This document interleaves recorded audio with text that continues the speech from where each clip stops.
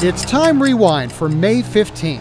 Ellen Church soars into the history books on this day in 1930 as the world's first stewardess. Church was not wearing nylon stockings on her first flight because those weren't introduced until this day in 1940. Roger, you look good here, Gordon. Roger, feels good, buddy. 1963 marks the launch of Faith 7, the final Mercury mission. Astronaut Gordon Cooper becomes the first American to spend more than a day in space. Back on Earth, these were the number one songs for May 15th through the decades.